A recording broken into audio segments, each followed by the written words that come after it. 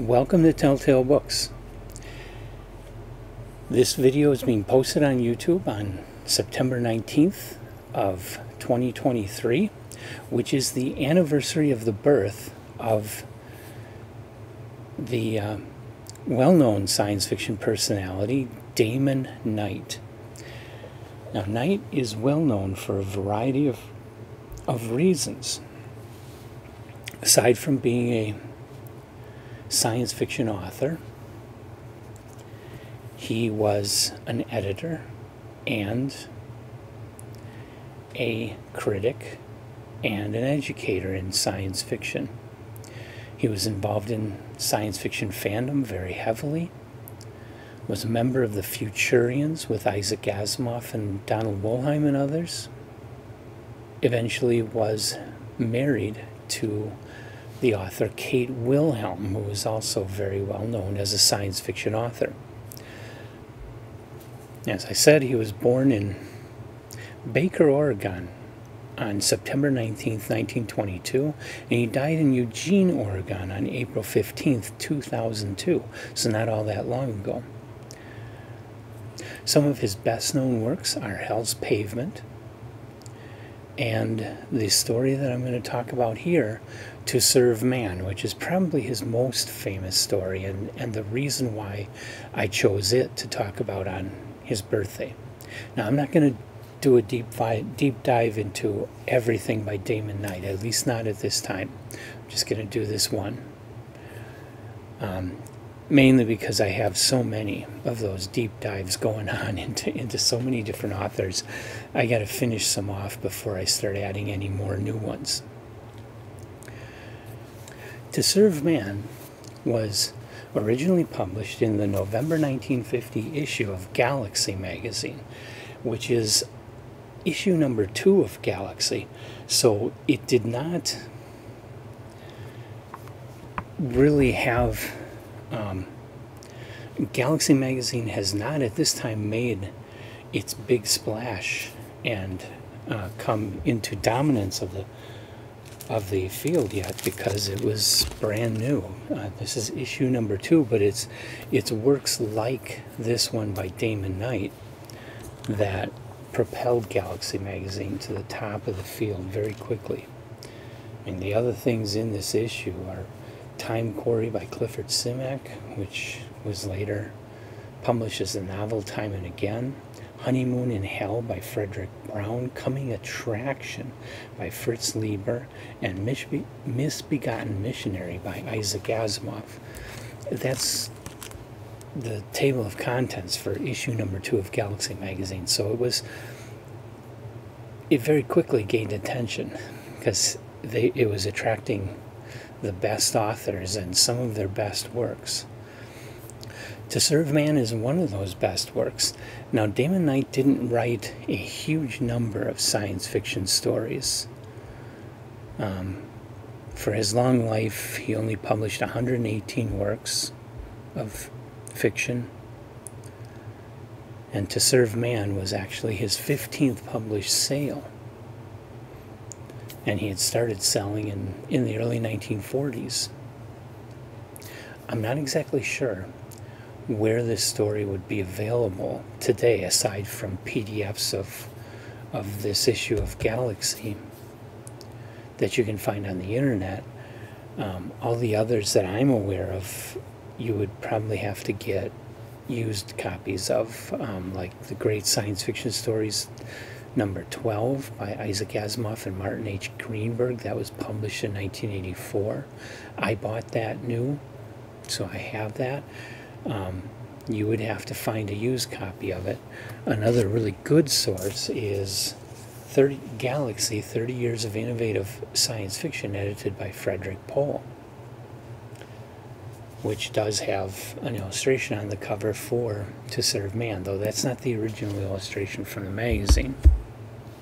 And that book, again, you would have to look for a used copy, which is what I've got here. I bought a, a used copy from someone online. Very good book, lots of great stuff in that. So, To Serve Man, what's it about? It's about an alien race called the Kanamits, who come to Earth, and and they are described as kind of looking like pigs that walk upright, but are covered with long gray fur, and they have tusks, and they wear um, green shorts. um, and yes, this story is a comedy. It's not meant to be serious.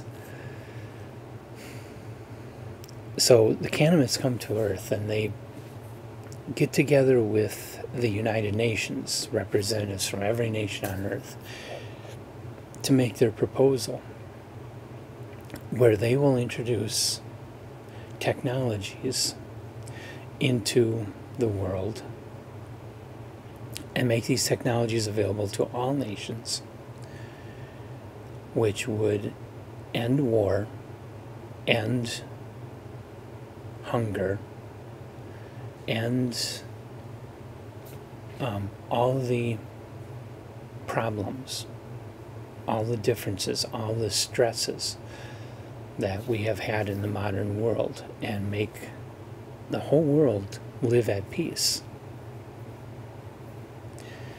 And all they want is for every so often a group of people to be selected to go to their planet. And so everybody, of course, thinks this is a really great thing. Um, this story is so famous that I, I think I could spoil it without doing too much damage to anybody, but um, I'm not going to because there may be people out there watching this who haven't read the story yet. And the story has a twist ending that hinges on a book that the Kanamits bring with them and are seen carrying carrying around. Of course, it's in a different language, so nobody at first knows what it is, what the book is. So this is a typical Twilight Zone style 1950s story. The the kind of thing that was very prevalent throughout the pages of Galaxy and the magazine of, of science fiction, and, and which typifies what was going on in the genre in the 1950s. And this one in particular was actually made into an episode of The Twilight Zone, which is what makes it very, very famous. The story is very short very well written and has had a big impact. It seems to always be on lists of what are the best science fiction stories ever written. And it is a favorite of mine. I really like it. It really blew me away. So it does get top tail from me. I wish I could go into it further, but I can't. It's a great story, well written, well deserving of its reputation. Very short, so it won't take much of your time. So, worth it for you to track down a copy of this story online or in an anthology. It has been anthologized a lot more than, than just the great SF stories and 30 Years of Galaxy. It's in a lot of other anthologies through the years, and I'd be surprised if there wasn't one currently in print that has this story in it. I really would, but I'm not sure. Um, so it's worth your time to track this down, read it, and uh, hey, leave your comments in the comments on this video. We'd like to hear what you think. Just please don't spoil it for anybody else. But what do you think of Damon Knight or to serve man or galaxy in general. And so I'll cut this short. This happy birthday to Damon Knight. I will cut it short and say like us, subscribe to us, and come on back for more. I don't have plans at this time for any further Damon Knight stories. If you'd like that, definitely leave that in the comments and I will work it into um, my future plans to make sure I read more. And I'll see you in the next video.